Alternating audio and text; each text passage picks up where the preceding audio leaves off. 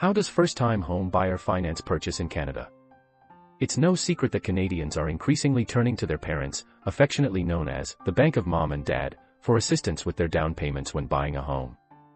In fact, about a third of all homebuyers in Canada have turned to their families when it comes time to make a down payment. While most of these people are first-time homebuyers, it's estimated that close to 10% of people moving to another home have also sought assistance from the Bank of Mom and Dad. With home prices continuing to rise, even for many Canadians who have the means to afford a mortgage, the lump sum required for a down payment is increasingly out of reach. Types of loans. Bank of Mom and Dad. If you want to be able to access the Bank of Mom and Dad with less risk, a loan is likely the better way to go.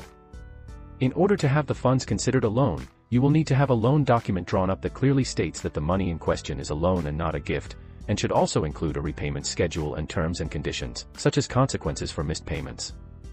Without this loan document, in the event of a breakup or divorce, the funds will be considered a gift and divided up accordingly between you and your ex. Keep in mind that a loan could negatively affect your debt-to-income ratio if it's too large and or the repayment schedule is too aggressive, thus complicating your chances of getting approved for a mortgage. Second mortgage.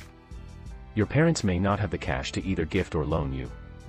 In this case, a popular option is to take out a second mortgage, typically in the form of a home equity line of credit, HELOC.